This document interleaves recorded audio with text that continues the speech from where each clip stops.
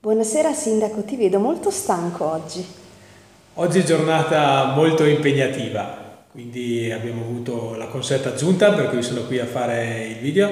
Abbiamo avuto la prima ufficiale conferenza dei sindaci in comunità di Valle e a seguito un interessante incontro, uno spero dei primi incontri con eh, alcuni membri della giunta del parco, con i funzionari del parco, con funzionari provinciali appunto per la gestione della nostra area parco. Come mai questo incontro? Cosa c'è in ballo?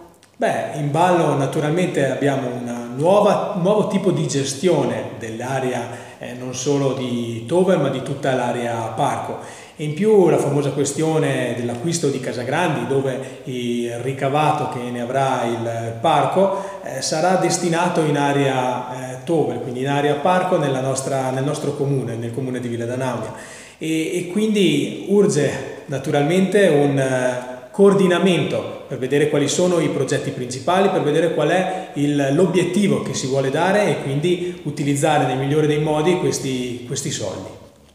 Eh, in, in, giunta oggi si è naturalmente discusso eh, come sempre riguardo a quali sono i servizi che possiamo dare ai nostri cittadini, alle nostre associazioni, ma non solo, insomma. Quindi eh, cercare di coordinare nelle, nelle, casistiche dei vari comuni quali sono la contribuzione che diamo alle nostre associazioni, quali sono eh, i, i, miglioramenti alle quali possiamo far fronte nell'organizzazione degli eventi, quindi cercare di, trovare, di, di fare un vademecum di quali sono le richieste che devono essere effettuate per qualsiasi tipo di manifestazione oppure per l'utilizzo di materiale che ha il nostro comune a disposizione per eh, le associazioni ma sempre non solo, anche per i privati.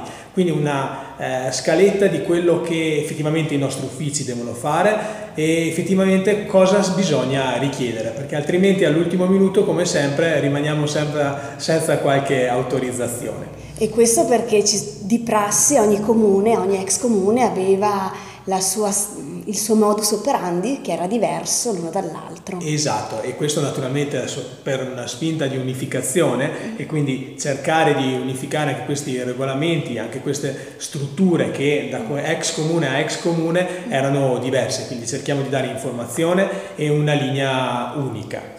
Eh, naturalmente abbiamo parlato anche di vigili volontari eh, del fuoco, abbiamo parlato di adesione alla strada della mela e naturalmente anche dell'evento eh, di solidarietà che è stato creato così repentinamente all'interno del nostro comune che è, si è chiuso, quindi è dato a termine con la, la consegna dei, dei bancali che abbiamo recuperato grazie alle donazioni dei nostri concittadini che eh, si sono presentati numerosi e hanno risposto molto bene al tipo di proposta, al tipo di progetto. Ma c'è anche un'altra iniziativa no? promossa dal gruppo Giovani? Naturalmente, il gruppo Giovani 4 Ville ha promosso un'altra iniziativa, quindi una cena con eh, serata musicale al CTL qui a, a Cles, eh, nella serata di venerdì. Quindi il ricavato sarà donato ad una famiglia originaria di Rallo che si trova nei posti dove è accaduto il, il terremoto. Quindi un'altra iniziativa con il patricinio e che ringrazio molto i ragazzi che la stanno in questi giorni